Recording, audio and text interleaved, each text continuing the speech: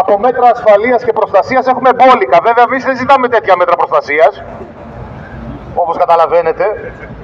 Ζητάμε μέτρα προστασίας ουσιαστικά στους χώρους δουλειάς, την ώρα που δουλεύουμε, να δουλεύουμε με ασφάλεια και να μπορούμε να γυρίσουμε πίσω στο και αυλαβής, στις οικογένειές μας.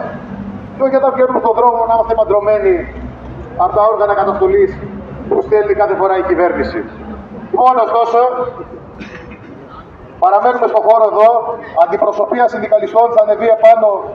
Μας περιμένει, ήδη έχουμε συνεννοηθεί να συναντηθούμε με τον Διευθυντή της Επιθεώρησης Εργασίας, Τεχνικής Επιθεώρησης, για να συζητήσουμε πάνω στα ζητήματα αυτά, κυρίως των μέτρων υγιεινής και ασφάλειας, που όπως είπαμε και νωρίτερα, που και παραμένουμε στον χώρο εδώ.